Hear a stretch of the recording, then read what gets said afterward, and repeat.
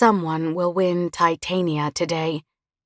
She is the greatest spaceship that has ever been built, the warship that cannot be beaten.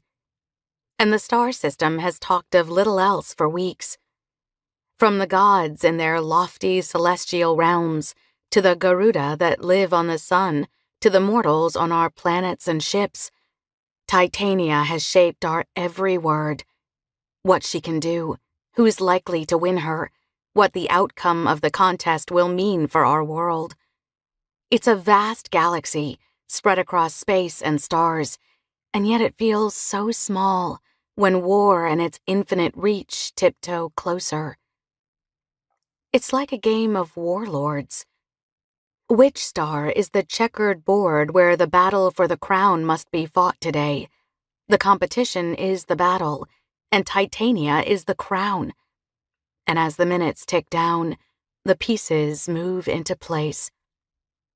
A usurper king, a heroic exile, a jealous prince, an old warrior, a cursed mother, a war goddess, and a girl. You'd be forgiven for thinking the girl is irrelevant. The other players are powerful, important, the kinds of people around whom legends are spun. They are mighty pieces on the board. The girl, on the other hand, is a pawn, noticed by almost no one, the least important piece in the game. She has no wealth, no glory, no power, and no family. But she's not irrelevant. I'm not irrelevant.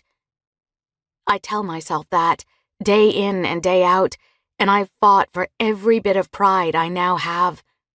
And even then, it's hard sometimes to believe the thought. Even today, as the competition promises to electrify the world, and I teeter on the edge of every desperate secret wish I've ever made, I'm more afraid than I am sure. I'm afraid of losing my nerve. I'm afraid of failing. I'm afraid I won't be enough. I know what you're thinking, says a voice behind me. My arms are buried to the elbows in hot, soapy water, so I don't turn around. I'm thinking I shouldn't have promised Madam Lee I would wash the dishes before the competition, I say, because now I'm going to be late if I don't hurry.